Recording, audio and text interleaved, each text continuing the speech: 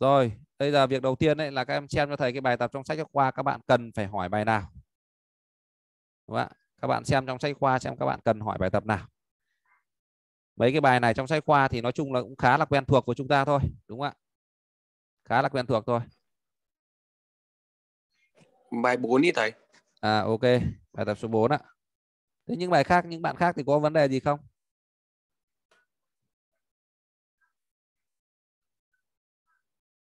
Nhưng những các bài khác thì các bạn có có có hỏi cái gì không? Ừ. Những bài khác thì các bạn có hỏi cái gì không?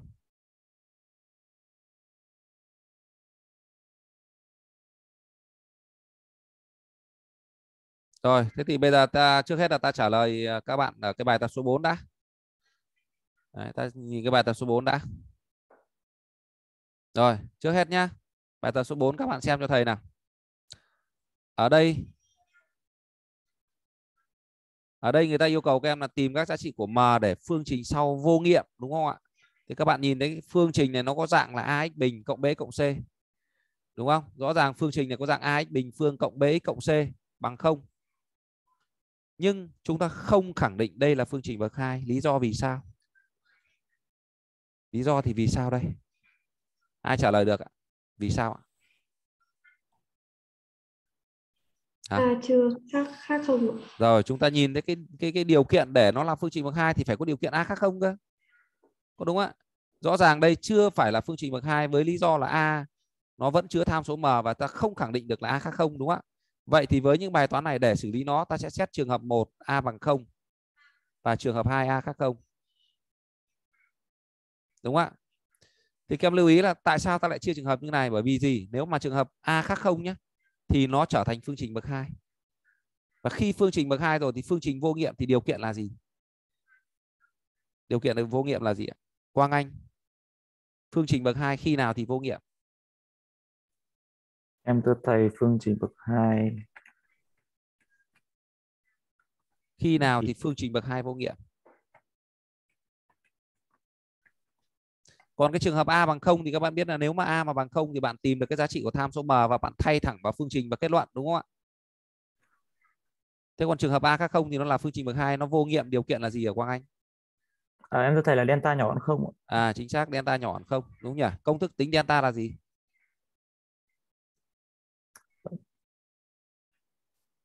hả vẫn phải đăng ký delta công thức nghiệm là gì b bình trừ hai nhân ac. B bình trừ 2 ac ở đạt. Công thức ờ, công thức tính delta là b bình trừ 2 ac ở đạt ơi công thức ở đây ở đâu đấy? Đạt trả lời cho thầy nào? À, trừ 4 delta. Ừ, b bình phương trừ 4 ac như vậy với bài tập số 4 này các bạn sẽ thực hiện như sau nhé ở đây ý A này. Ý A ta xét trường hợp 1 là m trừ 2 bằng ở đây các bạn xác định cho thầy nhanh ở ý A này nhé thì A các bạn xác định A B và C cho thầy để các bạn thuận tiện trong quá trình làm thôi. Đúng không? A thì bằng m trừ 2 này B thì bằng 2 nhân với m trừ 3 này. Đúng không? C thì bằng 5m trừ 6 này. Đúng không? Rồi như vậy ta xét trường hợp 1 tức là A bằng 0 tức là các bạn cho m trừ 2 bằng 0 và như vậy ta tìm được m bằng 2 đúng không? À, khi m bằng 2 thì lúc này ta có phương trình là gì ạ? Nào các bạn thay m bằng 2 vào cho thầy. 0 nhân x bình phương thì bằng 0 này. 2 nhân 2 bằng 4 trừ 3 là 1 như vậy đây là 2x này.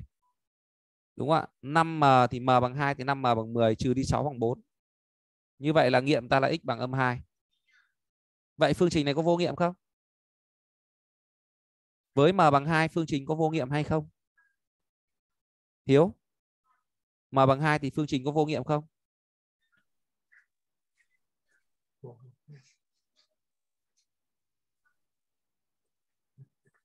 M bằng 2 thì phương trình có vô nghiệm không? Tôi nhắc lại nhé. Tôi lần sau đi tôi sẽ không à, duyệt có. những người vào muộn đâu nhé. Phương trình M bằng với M bằng 2 phương trình có vô nghiệm không? Ờ, có. À, có nghiệm. Thế thì nó có thỏa mãn yêu cầu không? Không ạ. Có thỏa mãn yêu cầu không? Không ạ. À, nó không thỏa mãn đúng không bởi vì yêu cầu bài toán người ta yêu cầu là phương trình vô có nghiệm cơ mà, đúng không ạ? Phương trình có nghiệm cơ mà, đúng không ạ? Như vậy trường hợp này các em sẽ suy ra m bằng 2 là không thỏa mãn yêu cầu bài toán. Không thỏa mãn yêu cầu bài toán, được chưa? Nào, bây giờ ta xét trường hợp thứ hai. Là a khác không, tức là m khác 2 chúng ta khẳng định luôn khi đó thì cái phương trình đã cho là phương trình bậc 2 mà phương trình đã cho là phương trình bậc 2 thì em dẫn đến cái điều gì? Khi phương trình đã cho là phương trình bậc 2 thì cái điều kiện để phương trình vô nghiệm. Khi nào? Khi delta là nhỏ hơn không như bạn Quang Anh bạn nói đúng không ạ? Rồi, bây giờ bạn tính delta cho thầy xem nào. Bạn uh, mời bạn uh, Nguyên nào. Em thưa thầy là trừ trừ hai um, 2 nhân với cả m trừ 3 tất cả bình phương. Rồi, 2 nhân với lại m trừ 3 tất cả bình phương. Trừ đi 4 nhân với cả m trừ 2 nhân với cả 5m trừ 6. À nhân với 5m trừ 6 chính xác. Rồi. Em cho nó nhỏ hơn không thôi, bây giờ ta thu gọn nó đi đúng không nhỉ?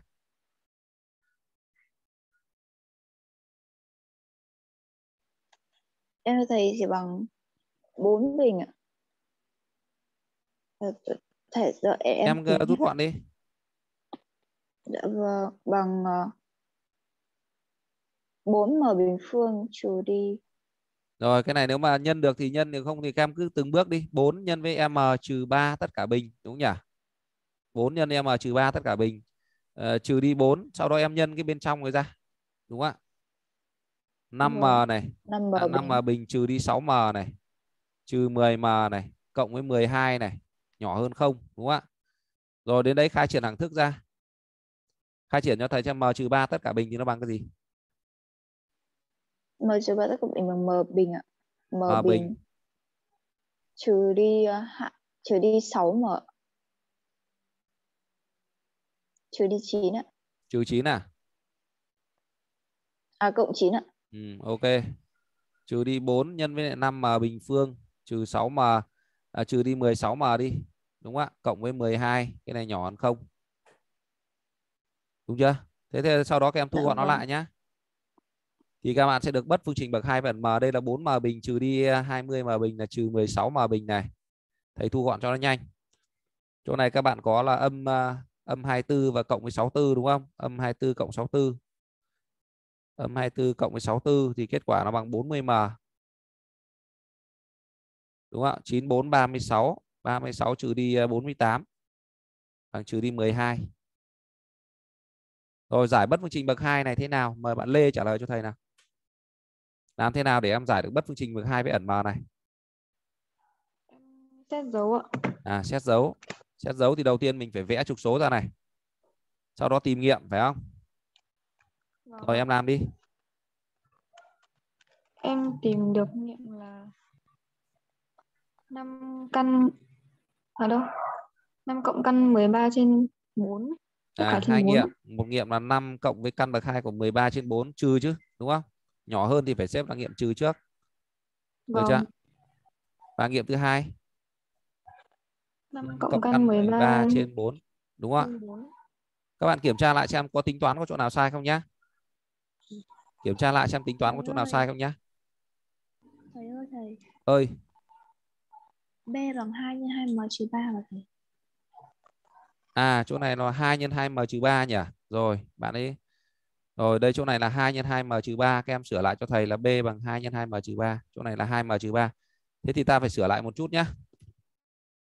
Rồi ta sửa lại cái bài này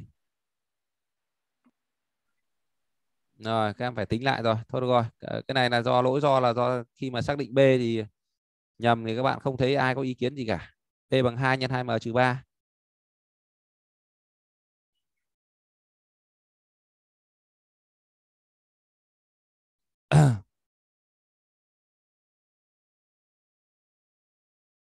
các bạn chờ chút nhé thôi được rồi, để tôi ờ, copy cái này sang trang khác để ta xử lý lại từ đầu vậy nhé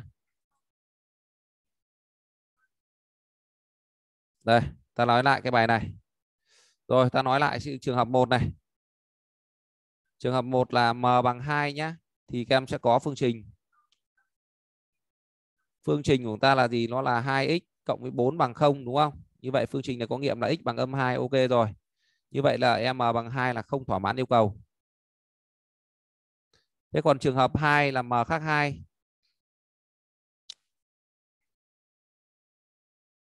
trường hợp m khác hai, các bạn bật mic lên các bạn nói chứ không phải cứ nhắn tin đâu. Trường hợp hai là m khác hai thì lúc này ta có cái phương trình đã cho là phương trình bậc 2 tôi đang giảng tôi đang viết bảng tôi bây giờ tôi lại phải mở tin nhắn tôi đọc. Có mic để làm gì? Phương trình đã cho là phương trình bậc 2 vậy thì phương trình này vô nghiệm khi delta, các bạn dùng delta hoặc delta phẩy tùy các bạn nhé ví dụ như ở đây tôi dùng delta phẩy định được, là nhọn không đi cho nó dễ. Được chưa nào? Vì b phẩy các bạn thấy có số 2 mà. Như vậy đây nó là 2m trừ 3 tất cả bình trừ đi AC rồi. Cứ đến ta khai triển ra cho thầy nhé. Chỗ này là 4m bình phương trừ đi 12m cộng 9 này. Chỗ này các em nhân bên trong này ra là 5m bình phương trừ 16m cộng với 12 nhỏ hơn không? Sau đó ta thu gọn lại thì các bạn được là trừ m bình phương cộng với 4m uh, 9 trừ đi 3 nhỏ hơn không ạ? Rồi đến đây giải cho thầy cái bất phương trình bậc hai này thì giải thế nào? Uh, bạn uh, Lê nói lại nào.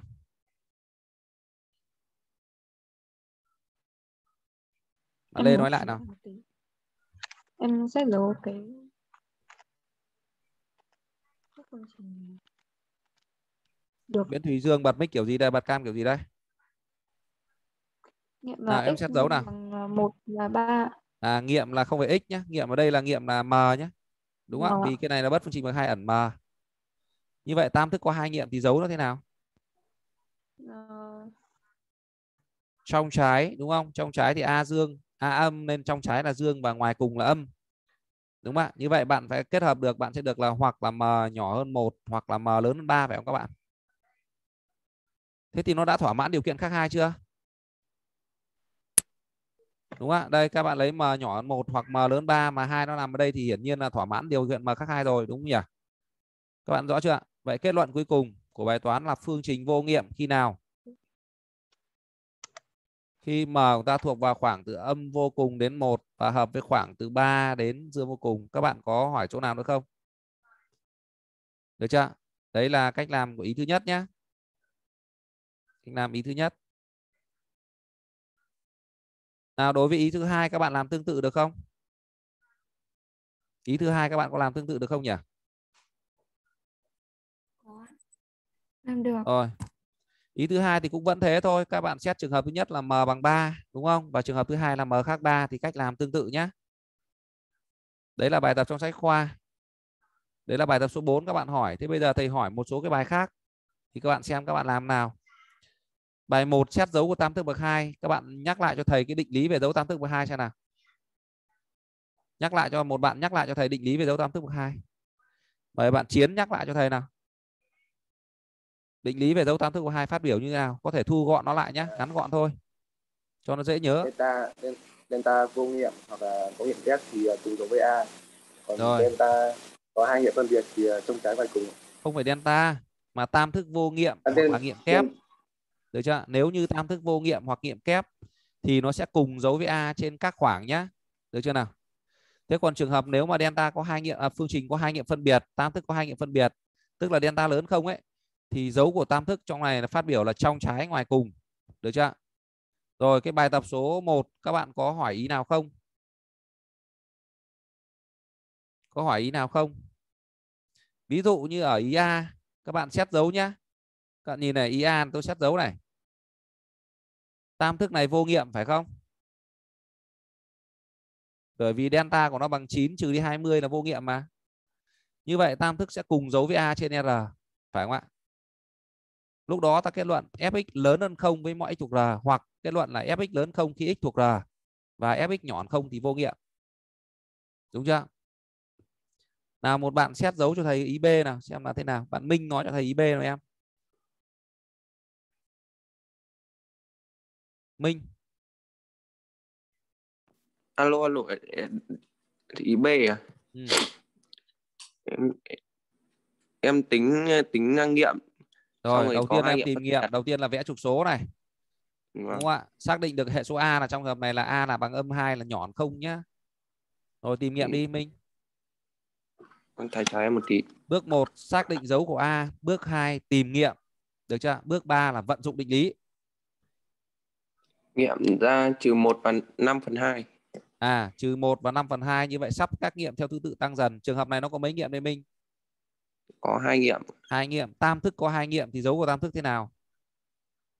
Trong trái ngoài cùng à? rồi trong trái a âm đúng không? Như vậy trong trái thì điền dấu gì? Dương ạ. Dương. Ngoài cùng thì ta điền dấu âm. Được chưa? Sau đó các em kết luận cho thầy nhá. Được chưa? Sau đó kết luận cho thầy. Vâng. được chưa nào nhớ này để xét dấu của một tam thức bước hai bước 1 là bạn phải tìm được hệ số a và xác định dấu của a. Bước 2 là bạn phải tìm nghiệm được chưa?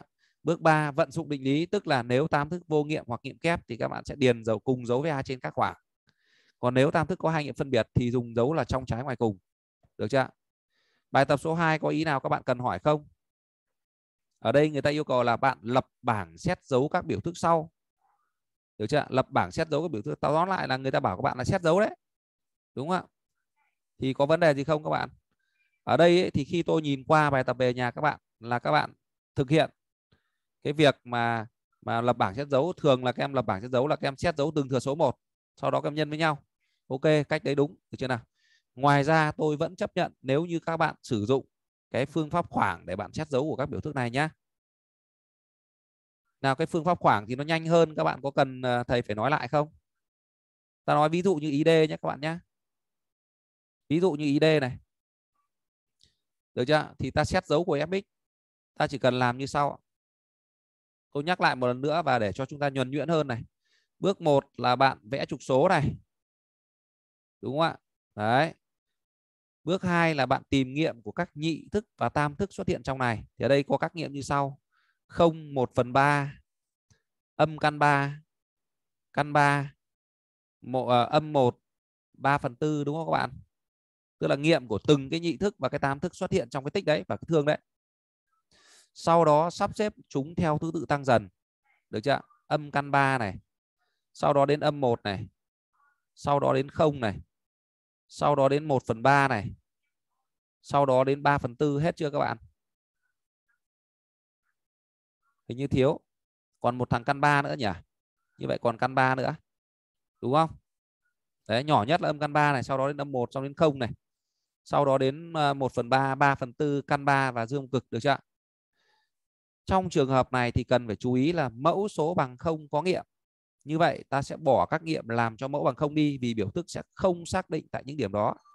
Như vậy chúng ta bỏ giá trị âm 1 và bỏ giá trị 3 phần 4 được chưa ạ? đến đây bây giờ các em sử dụng máy tính cầm tay đúng không ạ? Đến đây các bạn sử dụng máy tính cầm tay. Rồi, sử dụng máy tính cầm tay để gì? Để xét dấu trên từng khoảng, đúng không? Nếu những ai mà phân biệt được nghiệm đơn và nghiệm kép ấy, thì bạn làm sẽ nhanh hơn. Còn những ai không phân biệt được thì bạn dùng máy tính bình thường. Nó chỉ thao tác nó dài hơn một tí thôi, nhưng cũng không quá lâu đâu. Đầu tiên, bạn nhập biểu thức fx vào máy tính. Đúng không ạ? Ở đây ta nhập vào. 3 alpha x bình phương. Trừ đi x nhân với 3 trừ đi x bình phương. Chia cho dưới mẫu 4x bình phương. Cái bấm này thì có vấn đề gì không các bạn? À, bấm này có vấn đề gì không? Cộng với 3 à trừ đi 3 bấm này có vấn đề gì không ạ? Bây giờ trong khoảng từ âm vô cùng âm căn 3 thì âm căn 3 nó là sắp chỉ âm 1,7 như vậy các em lấy âm 2 thay vào cho thầy. Dấu nó âm. Như vậy ta điền đây là dấu âm. Tiếp tục trong khoảng từ âm căn 3 đến âm 1 âm căn 3 là âm 1,7 thế thì ta thay âm 1,5 vào. Âm 1,5 ta được dấu trong hợp này là dấu dương. Được chưa?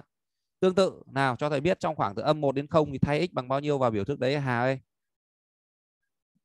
Thầy đi lấy thuốc. Hà mời bạn Hà. Bạn Hà vắng à? Hà vắng liên tục thế nhỉ? À, nào trả lời thầy là trong khoảng từ âm 4 0 thì thay x bằng bao nhiêu? Làm cái gì mà thầy gọi ba Một bốn phần câu mới thưa đấy hai ạ. hai á hai nó có thuộc khoảng đấy không em? Lớn hơn âm một nhỏ hơn không cơ mà. Rồi ơi hai mà bây giờ lại lớn hơn âm một nhỏ hơn không à? Âm- âm một phần hai ạ. âm 1 phần 2 chính xác. Thay x bằng âm 1 phần 2 đúng không ạ? Rồi thay âm một x phần hai ạ. rồi âm 1 phần 2 được chưa? Đấy ta thay vào thì được là giá trị âm. Nào, trong khoảng từ 0 đến 1 phần 3 thì thay x bằng bao nhiêu? Giang. Thay x bằng bao nhiêu em? Giang vắng à? Trường Giang vắng nha. Nào, bạn My cho thầy biết nào thay x bằng bao nhiêu?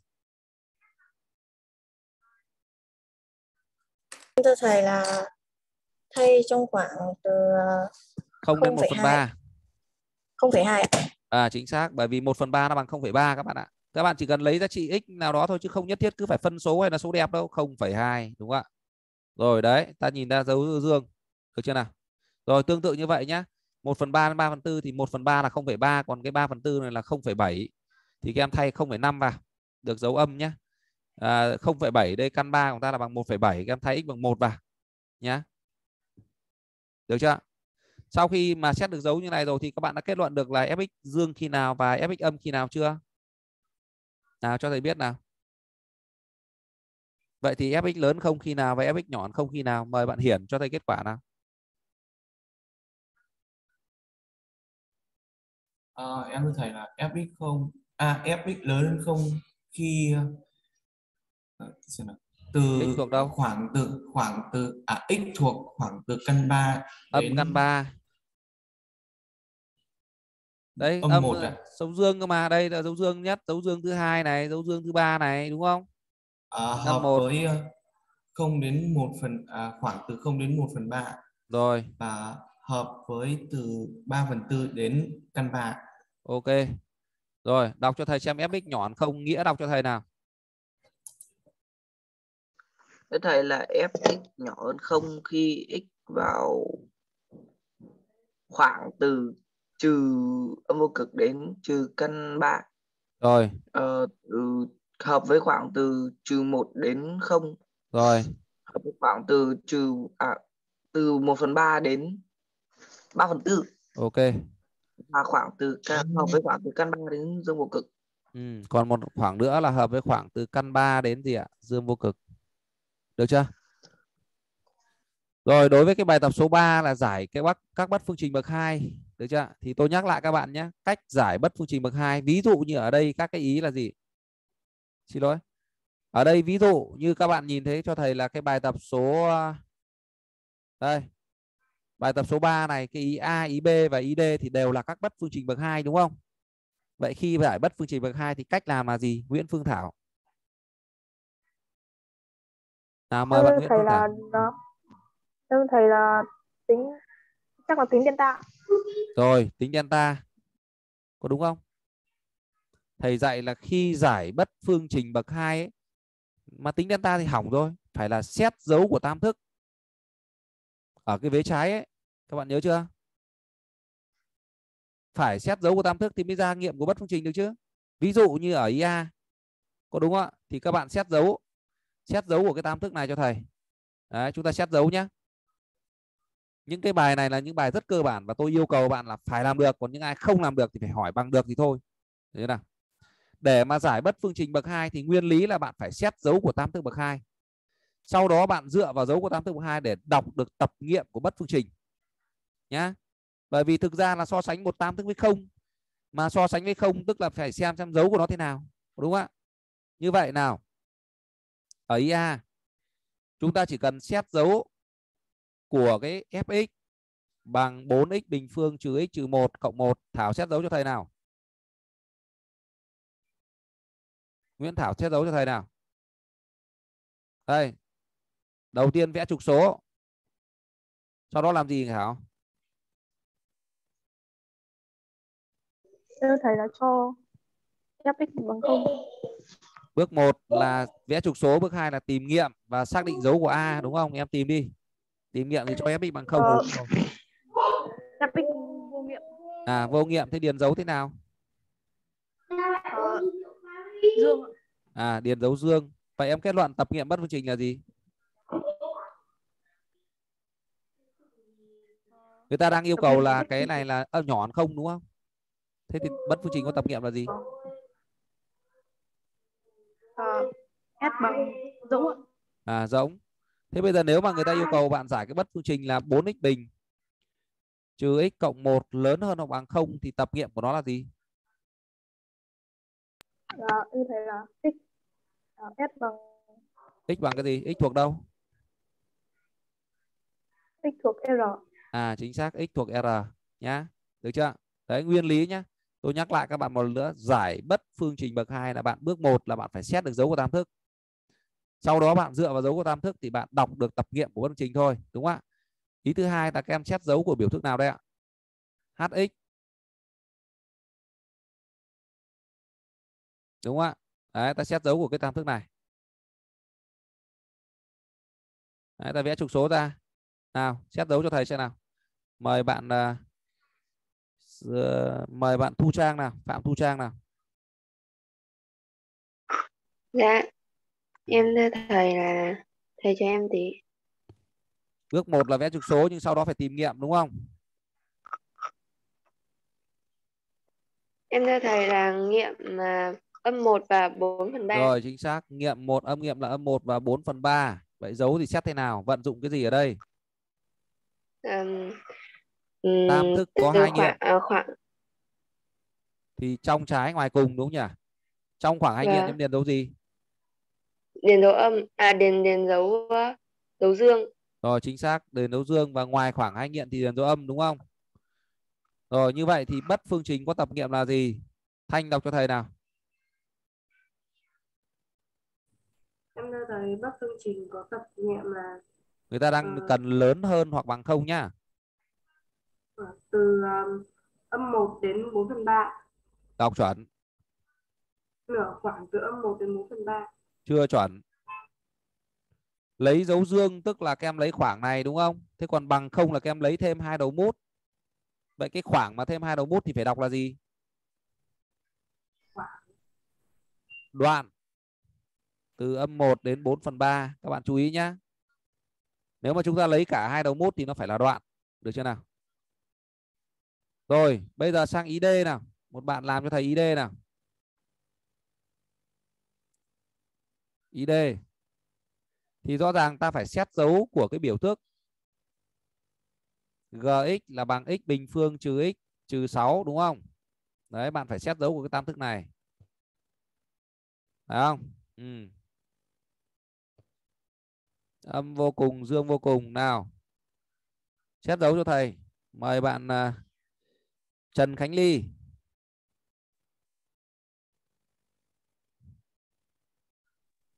Thưa thầy là Đầu tiên em tìm nghiệm cho thầy. Tìm nghiệm. nghiệm là âm 2 ạ, và 3. Sai rồi. Âm 2 và 3 là sai rồi. À âm 2 và 3 đúng. Xin lỗi. Âm 2 và 3 đúng. Rồi. Thế bây giờ xét dấu thì điền dấu thế nào đây? Cái này nó có hai nghiệm rồi đúng không? A bằng mấy ở mi à, ly? Hệ số A bằng mấy? Bao nhiêu nhân với x bình?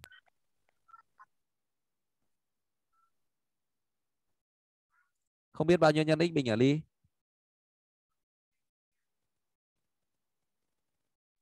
Thầy là bằng 1 ạ. Rồi chính xác. Một thế em điền dấu thế nào đây? Ờ, Trong trái ngoài cùng, tam thức có hai nghiệm phân biệt thì trong trái ngoài cùng nhớ cái định lý đấy. ờ, Suy số 1 là dấu dương hay dấu âm? dấu dương ạ, Dấu dương thì trong trái trái với dấu dương thì nó phải là dấu gì? dấu âm ạ. À, dấu âm đây trong trái là điền âm này tức là trong khoảng hai nghiệm này điền dấu trái dấu với a và ngoài khoảng hai nghiệm thì điền cùng dấu với a được chưa? Như vậy tập nghiệm bất phương trình ở đây là gì?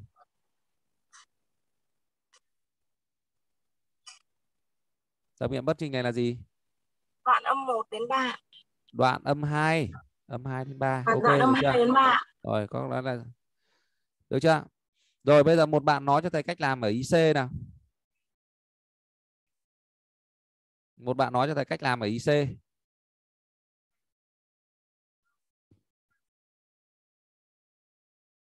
Đây, giải cái bất phương trình này. Các bạn ghi xong ID chưa?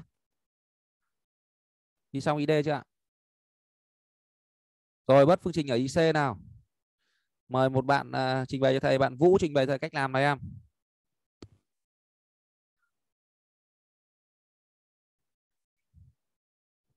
Dạ. Em thưa thầy là chuyển 3 phần 3 nhân với x bình cộng x trừ 4 sang bên trái ạ. Nào, tức là em phải biến đổi mà đã biến đổi thì đầu tiên phải bao giờ cũng phải thấy nó phải xác định thì mình mới biến đổi đúng không? Vậy trước hết em phải đặt điều kiện cho thầy đấy chứ. Đúng không? Điều kiện là gì Vũ? À. x khác cộng trừ 2 ạ. x khác cộng trừ 2 hết chưa? Hết chưa? Chưa. Rồi, thế thì điều kiện tiếp theo nó là gì nữa?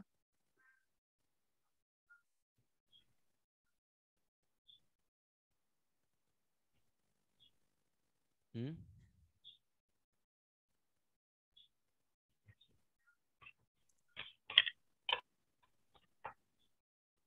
Ô, trả lời đi chứ. Không giải được Vũ. Thầy bây giờ thầy hỏi em để đặt điều kiện cho thầy xem nào.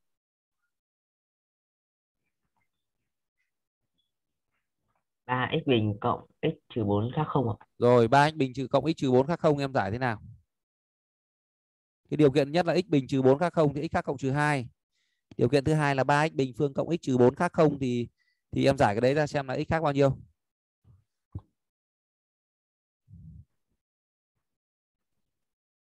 x khác 1 ạ.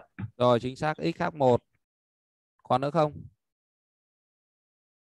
Khác âm 4 phần 3 nữa chứ. Đúng chưa? Rồi, bây giờ ta biến đổi bằng cách như bạn Vũ bạn nói là đầu tiên là chuyển vế sang. Nhớ là tuyệt đối không được nhân chéo nha. Tuyệt đối không được nhân chéo, được chưa nào? Đấy. Không được nhân chéo đâu nhá.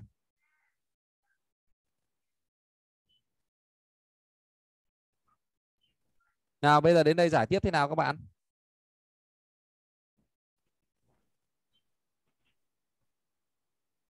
Quy tiếp nào? Quy đồng thầy ạ. Rồi quy đồng lên đúng không? Rồi ok quy đồng lên nào các bạn quy đồng nào. 3x bình cộng x Phú về nhà xem lại nhá. Chứ còn bây giờ học đến lớp 10 rồi mà quy đồng cứ lừng khà lừng khừng như này là nguy hiểm lắm. Đúng không ạ? Các bạn ở lớp này là một số bạn rất đuối, các bạn phải chăm chỉ lên thôi. Bây giờ người ta chạy nhanh thì người ta có thể thời gian ngắn hơn nhưng mình chạy chậm hơn thì mình phải chạy thời gian nhiều hơn chứ cùng đi cùng một quãng đường thôi đúng không ạ? Rồi đến đây các em thu gọn cho thầy nhá. Thì trên tử các bạn được là x các em cộng với lại mấy đây? Cộng với 8 chia cho dưới mẫu là x bình phương trừ được 4 nhân với lại 3x bình phương cộng x trừ 4 nhỏ hơn không đây là sao? Rồi đến đây đã được chưa? Đến đây đã được chưa Vũ? Khánh Linh cho thầy biết nào đến đây đã được chưa em? Hay phải biến đổi tiếp? Rồi ạ rồi ạ. Ok rồi đến đây thì tiếp theo làm thế nào bạn Khánh Linh làm cho thầy nào? Xét dấu à? À, xét dấu của cái vế trái của sao đúng không ạ? Xét dấu. Chúng ta lừa thì ta đặt luôn là vế trái sao đi, đúng không ạ? Rồi xét dấu vế trái của sao nào. Vẽ trục số này. Rồi đọc cho thầy đi, xem trên trục số này điền các cái điểm nào.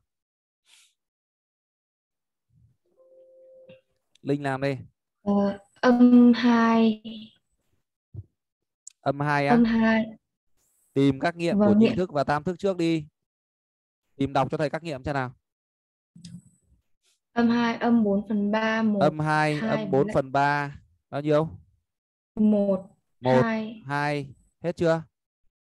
Âm 8 ờ thế thằng nào bé nhất? Âm 8 à rồi nhỏ nhất phải là âm 8 tiếp theo. Âm 2 âm 2 âm 4 phần 3 đúng không 1 và gì 2 2 đúng không ạ 1 và 2 được chưa rồi thì bây giờ có chú ý gì không ở, ở Linh có chú ý gì không có gạch cái âm 2 âm 4 phần 3 1 với 2 ạ. Rồi gạch bốn cái điểm làm cho mẫu bằng không đi, đúng nhỉ? Sau đó ta xét dấu nhá. Được chưa nào? Thì các bạn xét dấu tương tự như vậy thì các bạn xét dấu bằng à, phương pháp khoảng được chưa ạ? Cái cách làm này thì thầy vừa hướng dẫn một câu rồi nên ở đây thầy sẽ làm nhanh thôi. Ở đây thầy sẽ được như sau. Ờ, x bằng 0 thì tử uh, dương mẫu dương phân số dương. Ở đây không phải bài nào nó cũng đan dấu các em nhé được chưa nào? Ở đây là thầy uh, phân biệt được nghiệm đơn nghiệm kép thì thầy dùng dấu như này. Như vậy tập nghiệm của bất phương trình là gì? S bằng cái gì Linh ơi? Đọc nốt đi. Tập nghiệm là S bằng khoảng từ âm vô cùng đến âm 8 rồi âm vô cùng âm 8 từ âm 2 đến âm 4 phần 3 âm 2 đến âm 4 phần 3 hợp với khoảng từ 1 đến 2 rồi khoảng từ 1 đến 2 được chưa? Thế đấy là cái cái bài tập số 3 của các bạn nhé rồi cái bài tập mấy cái bài tập trong sách khoa này thì nó khá là đơn giản thôi. Các bạn chú ý là tôi đã yêu cầu bạn là trong buổi tối ngày hôm qua các bạn làm những bài tập này và nó không có vấn đề gì khó khăn cả. Thì yêu cầu các bạn xem kỹ lại. Nếu còn vấn đề nữa thì chúng ta phải một là hỏi bạn hai là hỏi thầy được không ạ? Đấy. À, thứ hai nữa là các bạn ghi cái yêu cầu của tôi ngày hôm nay là chúng ta sẽ làm toàn bộ bài tập trong sách bài tập cho thầy nhé được chưa và tôi nhắc lại một lần nữa như sau. Nhiệm vụ của chúng ta trong buổi hôm nay ngoài cái việc chúng ta làm bài tập thì tôi yêu cầu một lần nữa là những ai mà các bạn chưa ghi chép chưa học cái video mà tôi đăng ở trong nhóm Facebook ấy là từ phút 51 trở đi ấy. Được chưa nhá từ phút 51 trở đi thì yêu cầu các bạn xem. Còn nếu bạn nếu có thời gian các bạn xem hết càng tốt bởi vì video ấy khoảng 90 phút. Được chưa còn nếu ai không có thời gian các bạn có thể xem từ phút 51 bởi vì từ phút thứ 1 đến phút thứ 50 là tôi đã dạy các bạn rồi. Được chưa nào? Đấy. Nào à, các bạn à, cái bài ngày hôm nay thì các bạn còn muốn hỏi lại câu nào nữa không? Còn còn muốn hỏi lại câu nào nữa không?